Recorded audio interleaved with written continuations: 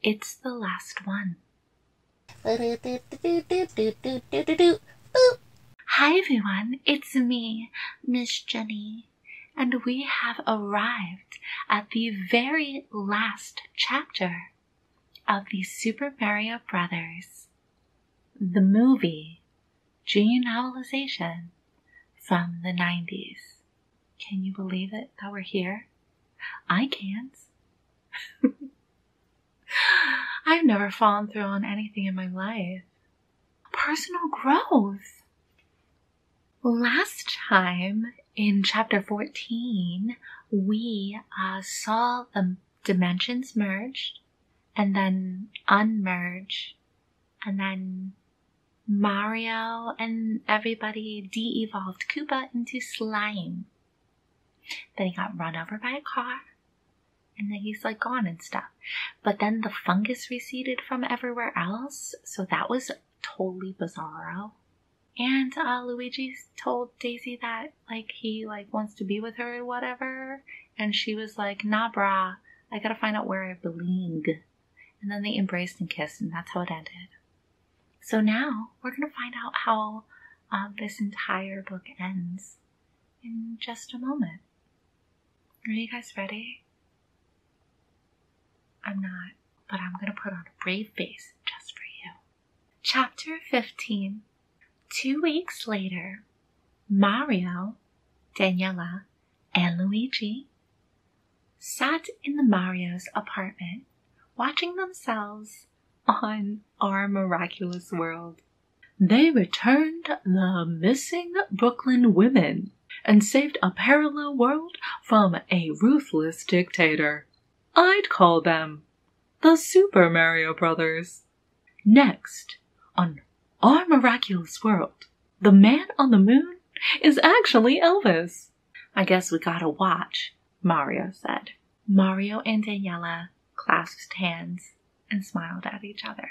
Beside them, Luigi leaned his chin on his hand and moped. It had been a rough two weeks without the woman he loved, which is all nice and good and all, but again, they were only together for like a couple hours. What are we doing? What is this? What's happening? Maybe this is the epic romance that we needed this whole time. Suddenly, they heard pounding on the door. Before the brothers could get up and answer it, the door flew open. Daisy stumbled in. Daisy's back. Yay. Her shirt was scorched and tattered. Her hair tousled, and a fire gun was hanging by her side. Daisy! Luigi quickly jumped up and hugged her. Luigi! Daisy quickly kissed him.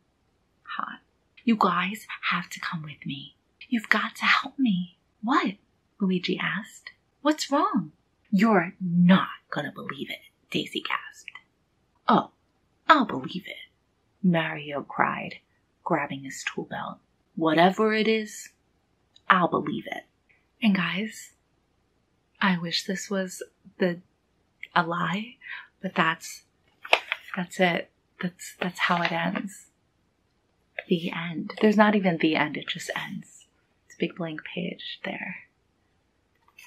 That's it. That's the book. That's how it ends. A cliffhanger. You know, the movie also ended in the same cliffhanger. it's a good time. Let's talk about that for a second. So, the ending of this movie and this book is a cliffhanger that something else happened in the other dimension. Um, but uh, what isn't in this book, but in the movie, is a mid credit sequence, by the way. There's a mid credit sequence. Hello. Way before Marvel did it, they did a mid credit sequence where Spike and Icky are in this dimension and are being approached to make a movie about their lives. And they want to call it the Super Koopa Cousins. it's excellent. I would have watched that movie. So, all the way back in chapter 8, I said that there was pictures in the middle of the book and that I would share them with you. So, I'm going to do that now. Uh, I think it's really funny the captions that like these kind of books give the the pictures. Okay, so for the first picture on this page, Mario right and Luigi, Brooklyn's best plumbers. The second one on this page says Luigi and Daisy explore the tunnel beneath the archaeological dig. And so um, these look like this. Here's the first one. Ooh, ah. Here's the second one. Ooh, ah. Okay, moving on. The sprawling city of Dinohattan awaits Mario and Luigi at the far end of the tunnel. Dinohattan is a dangerous place. Even an old lady will rob you if you give her a chance.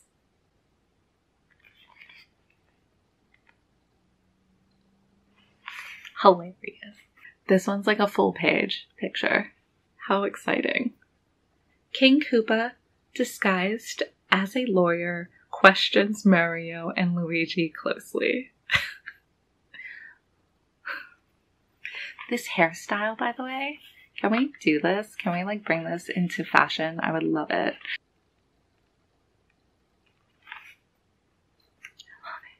Oh, we got another full page. Daisy is escorted to Koopa's chambers by a Goomba. Okay, so if you listen, I'm gonna just say this right now. Um, if you don't know what the Goombas in this uh, world look like yet, because we've been just reading about them, and like, let's just say that you didn't watch the movie. Um, whatever you're thinking they might look like from like the video games, throw that away and get ready for a new nighttime terror. Just, look at that, look at that thing. Just look at it. Though I do have to say, um, this dress that she wears, the back has all these like hanging like crystal um, chains. Oh my god, it's so, it's so pretty. It's so pretty. Okay. Princess Daisy, imprisoned, is comforted by the royal pet Yoshi. Iggy, right, and Spike are brought before Koopa by two of his Goomba henchmen.